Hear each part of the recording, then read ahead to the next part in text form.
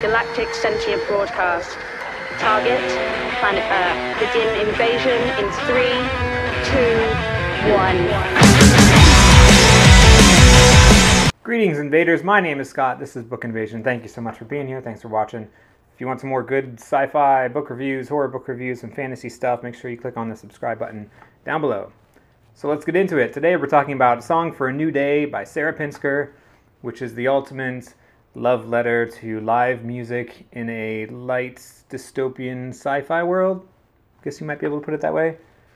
Um, now, Sarah Pinsker is not a stranger to the sci-fi world, although this this book did win the Nebula Award for I think best novel, and it was also a Locus Award nominee for best first novel. But Sarah Pinsker, she says she's been submitting to magazines and publications since age 14. Um, she's been published in things since 2012 in magazines like Lightspeed, Uncanny Magazine, and Asimov Science Fiction, and a bunch of other compilations, collections, and so on and so forth. So she's no stranger to the sci fi realm. Now, this book is, is light on the sci fi, there's no spaceship battles, yada yada. It's, it's light on the post apocalyptic. Now, this story takes place in a pandemic, uh, post, pre and post, uh, which is a great story for the time of, of COVID 19 is there's been an outbreak, a pandemic of this kind of pox virus, and there's been uh, terrorist attacks happening. So we're totally in a lockdown mode. Uh, any gathering over like 30 or more people is illegal, and everybody's uh, had stay-at-home orders. Retail shops have kind of shut down and closed. Businesses are, are dwindling, and there's this place called Super Wally, which is one of our characters works for that kind of evolves in the post pandemic, which is called the after. And obviously, the before, the quote before, is before this outbreak happened. So Super Wally kind of bubbles up and becomes this mega corp, and everything you order from there gets drone delivered and, and yada yada. And in this world, too, um, in the after, where our character Rosemary kind of uh, grows up, uh, when she was little, she she was in the before and she hears stories from her parents. She kind of remembers her childhood uh, about what it was like before, but she's kind of now working and grown up and going to school in in the after, which means she goes into hood space. And hood space is kind of this virtual thing where you get avatars and you do your job and you go to school. And that kind of reminded me just uh, like Ready Player One, like the Oasis.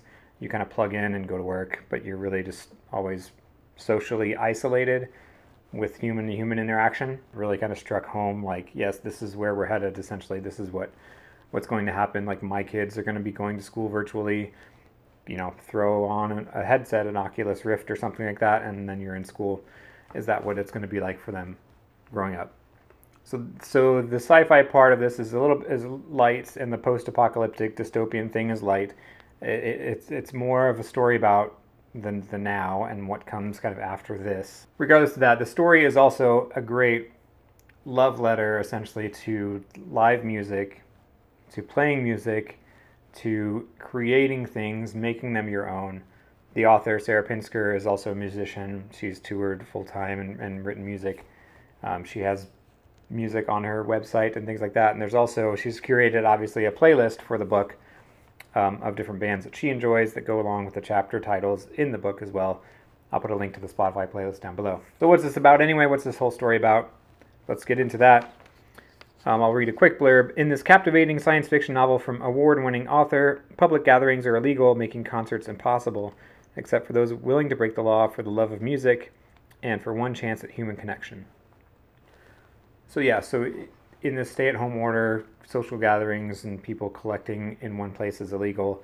However, there's this this scene of underground clubs that you kind of get to know by by code word or by name that you can still go see a live show if you know who to talk to and you know the, the, the questions to ask and so on and so forth. So there's, there's a whole underground kind of happening of live music in people's basements, in like um, old barns and things like that.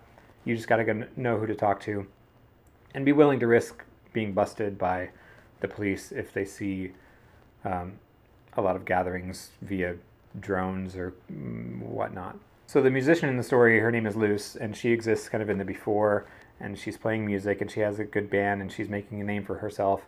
And then the pandemic hits, and now she's kind of transitioned to the after, and thrown into this world of these underground shows. Her story is about kind of staying true to yourself, being that voice for the unspoken, and, and having that creative drive, which can then spread to others and kind of encourage others to to be a part of that and create their own thing as well.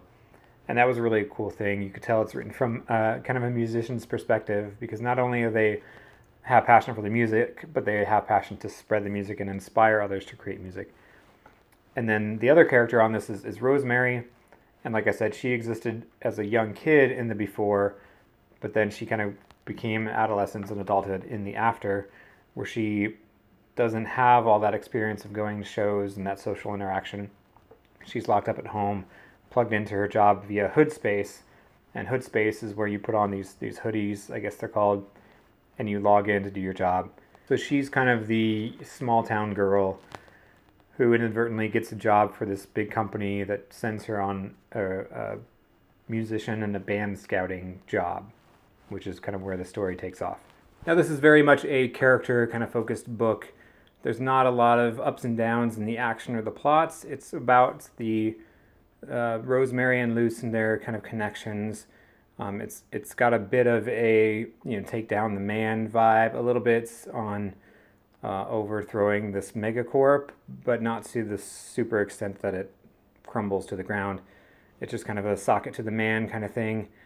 And the, the I think the best parts of the book are having the characters experience just the live music effect and how much passion one can have in their creation.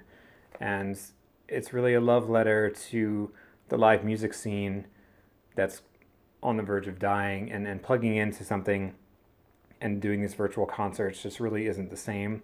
And I know that's not extremely deep on a philosophical level, but there are underlying themes here of that, you know, be your own person, create your own thing.